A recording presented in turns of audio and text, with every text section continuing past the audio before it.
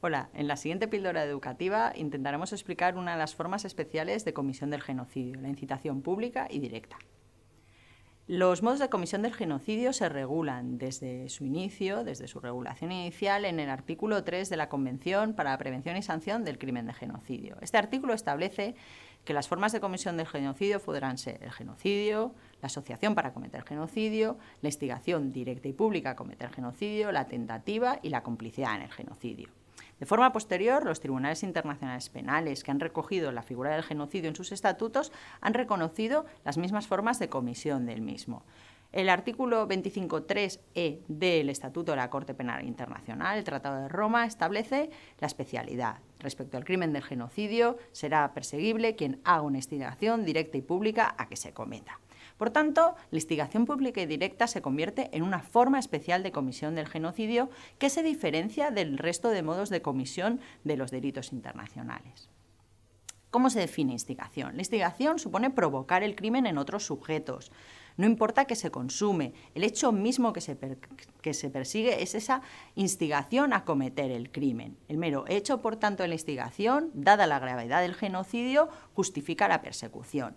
Con esta instigación lo que se pretende perseguir son esos casos de, crímenes de odio impulsados desde los medios de comunicación o desde el poder político. No es necesario que exista una relación de autoría en el que el instigador se, sitúe en una posición de, de superioridad moral o civil o efectiva de algún modo sobre el que recibe esa provocación, sino que basta con que cumpla los siguientes requisitos.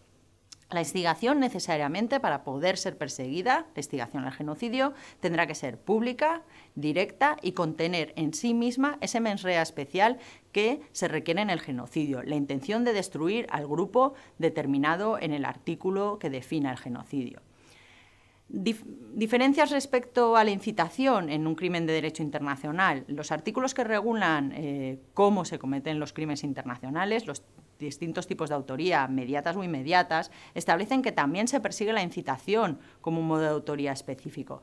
En cambio, la incitación, que también supone provocar en otro un crimen, no requiere ni publicidad, podemos estar en casos de incitación privadas, ni una conexión directa con eh, el hecho delictivo. Tampoco se requiere que el crimen eh, sea eh, unido de forma específica. Lo único que se requiere es que el crimen se cometa de una forma completa. En el caso de instigación, como hemos dicho, no importa que el genocidio se consume o no.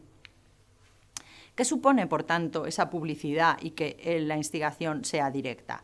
Respecto a la publicidad, todos podemos imaginarnos por qué se define como tal. Incluye todos esos tipos de discursos de odio, publicidad, medios de comunicación, siempre dirigidos a un sujeto indeterminado o no. También valen aquellas publicidades que se dirigen específicamente a un grupo eh, para que ataque al otro. Respecto al directo, es que se pretende el crimen principal, se pretende que se cometa ese crimen de genocidio. No hace falta que la incitación o esa instigación sea eh, expresa. Se pueden utilizar toda una serie de mecanismos que van implícitos en ese contenido. Lo que hay que tener en cuenta serán todas las circunstancias, tanto sociales como culturales, que existan en el país para poder valorar caso por caso si esa instigación ha cumplido el requisito de la dirección. Pero en todo momento habrá que probar esa conexión entre la incitación y el acto criminal final.